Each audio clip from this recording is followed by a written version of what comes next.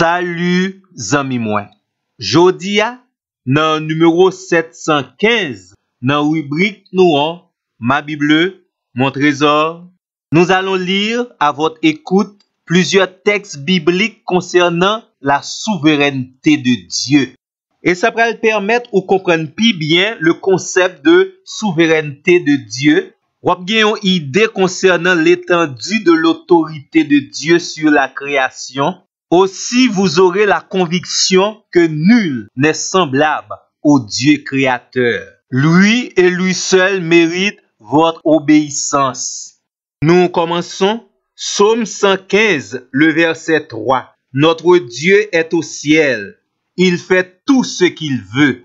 Job 23, le verset 13. Mais sa résolution est arrêtée. Qui s'y opposera? Ce que son âme désire, il l'exécute. Psaume 33, verset 9. Car il dit et la chose arrive. Il ordonne et elle existe. Psaume 135, le verset 6. Tout ce que l'Éternel veut, il le fait, dans les cieux et sur la terre, dans les mers et dans tous les abîmes. Romains 9, le verset 20. Qui est-ce qui résiste à la volonté de Dieu? Ésaïe, chapitre 45, le verset 9. Malheur à qui conteste avec son Créateur. Vase parmi des vases de terre. L'argile dit-elle à celui qui la façonne, Que fais-tu? Et ton œuvre, il n'a point de main. Job 33, les versets 12 et 13. Dieu est plus grand que l'homme. Veux-tu donc disputer avec lui? Parce que Dieu ne rend aucun compte de ses actes. Actes des apôtres, chapitre 9, verset 5. Il répondit, Qui es-tu, Seigneur? Et le Seigneur lui dit, Je suis Jésus que tu persécutes. Il te serait dur de regimber contre les aiguillons. Acte des apôtres 5, verset 39. Si cette œuvre vient de Dieu, vous ne pourrez pas la détruire. Ne courez pas le risque d'avoir combattu contre Dieu. Ésaïe 43, le verset 13. Nul ne délivre de ma main. J'agirai. Qui s'y opposera? Job 42, le verset 2.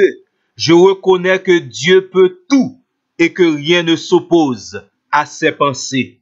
Job 9, le verset 4. À Dieu la sagesse et la toute-puissance, qui lui résisterait impuniment.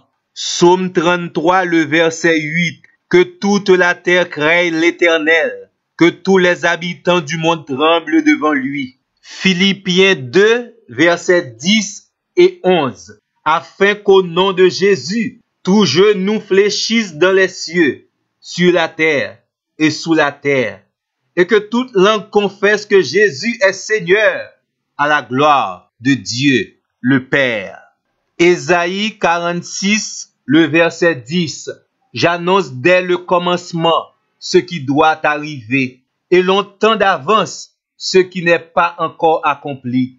Je dis, mes arrêts subsisteront, et j'exécuterai toute ma volonté, dit l'Éternel.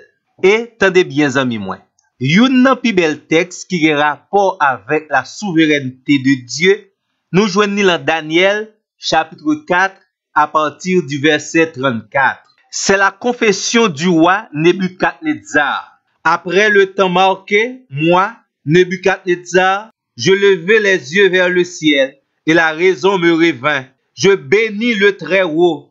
J'ai loué et glorifié celui qui vit éternellement, celui dont la domination est une domination éternelle, et dont le règne subsiste de génération en génération. Tous les habitants de la terre ne sont à ses yeux que néants. Il agit comme il lui plaît avec l'armée des cieux et avec les habitants de la terre. Et il n'y a personne qui résiste à sa main et qui lui dise, que fais-tu? Le verset 37. Maintenant, moi, Nebuchadnezzar, je loue, j'exalte et je glorifie le roi des cieux, dont toutes les œuvres sont vraies et les voies justes, et qui peut abaisser ceux qui marchent avec orgueil. Zami mwen, tout bon vre. Pa gen ni de, ni toa lot konklusyon. Notre Dieu, il est souverain. Amen.